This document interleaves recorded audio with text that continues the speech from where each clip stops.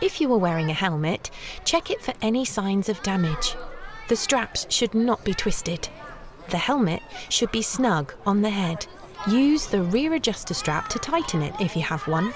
The helmet should rest roughly one or two fingers width above the eyebrows.